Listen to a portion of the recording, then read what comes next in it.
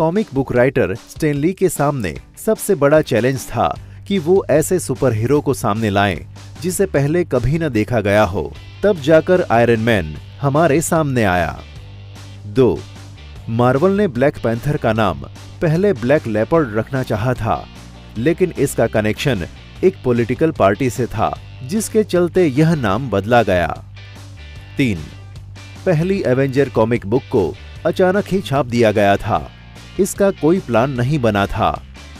चार, आपको बता दें कि टॉनी को उनके पेरेंट्स हावर्ड और मारिया स्टार्क ने गोद लिया हुआ था। पाँच, थ्रॉग एक मेंढक है, जिसके अंदर थॉर की पावर है। यह पेट एवेंजर्स ग्रुप का सुपर हीरो है। छ, क्या आपको पता है कैप्टन अमेरिका कुछ समय तक वेरवॉल्फ भी रहा था? सात, आपको बता दें कि भारी भरकम हल्क रियल में ग्रे कलर का है। लेकिन यह हरा इसलिए दिखता है क्योंकि यह प्रिंटिंग के लिहाज से सबसे आसान कलर है।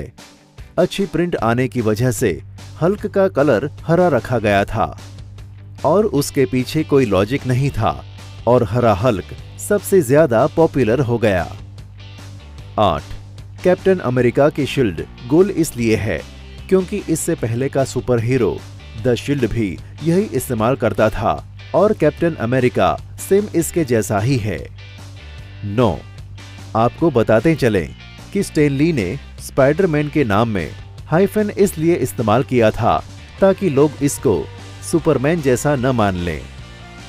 दस, स्पाइडरमैन को बनाने के बाद स्टेनली शुरुआत में इसका नाम फ्लाईमैन या इंसेक्ट मैन रखना चाहते थे, लेकिन बाद में फाइनल नाम स्पाइडरमैन रखा गया